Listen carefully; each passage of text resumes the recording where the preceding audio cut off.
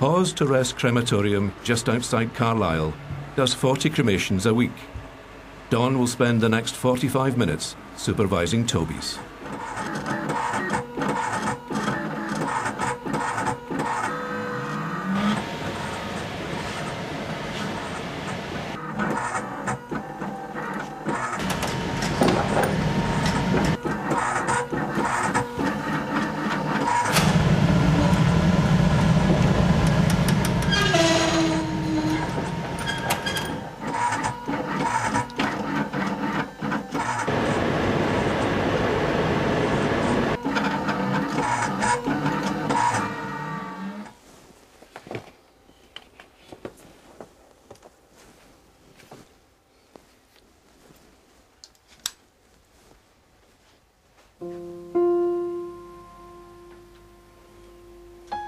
The reason we, we like to return the ashes on the same day is we feel that it helps with the grieving as opposed to families having to wait a week, 10 days, whatever, on the ashes to come back and then they have to obviously go through all that grieving process again.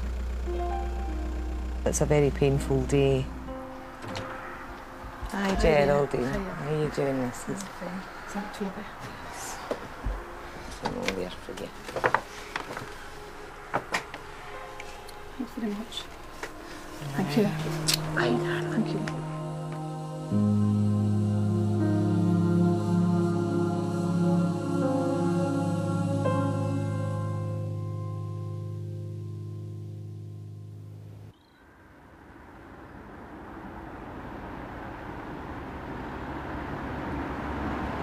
people say to me, you know, are you, are you, are you crazy? It was only a dog. And that happens regularly. It's only a dog. It was only a dog to them. You get pet lovers and non pet lovers. And people who love pets, they fully understand this. As a trained pet bereavement counsellor, Dawn helps owners to get over their grief. Today she's visiting Geraldine. It's been two weeks since Toby has died, and she still hasn't come to terms with his death. Hiya. Hi, Geraldine. Hiya. Here you Nice are. So, how have you been since I Ah, saw you last? well, my good days and bad days. Um, just trying to think of the kind of happy times with him, but obviously there's some days that you get really quite down and really, really guilty. That, that, that's a, a perfectly natural emotion to experience in grieving is guilt.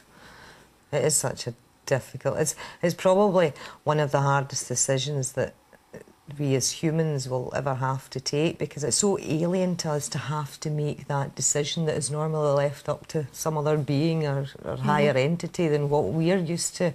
And all of a sudden we have, we're faced with this enormous responsibility and knowing that the heartache that we're going to suffer. But we have to put that aside, you know, your own feelings um, for your love of, of, of Toby.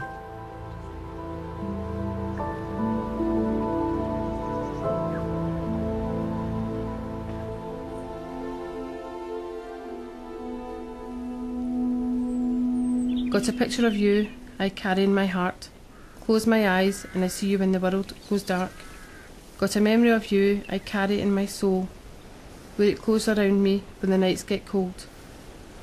With your fluffy head against my hand, to be here to cuddle, kiss or hold. When I'm sad or very scared. Not a day goes by that I don't think of you. I love you so much.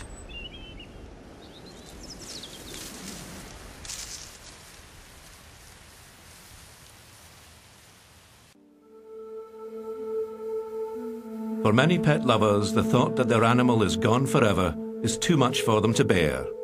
Rainbow Bridge is their way of dealing with a pet's death, a mythical land where families and pets will be reunited in the afterlife.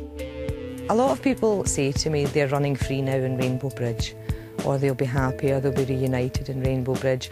And basically, the story of Rainbow Bridge is that that's where our pets will wait for us.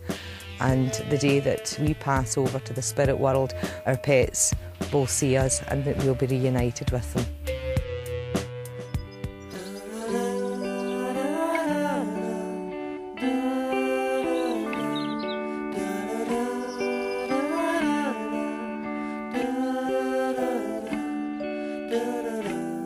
It seems that where there's bones, there's brass.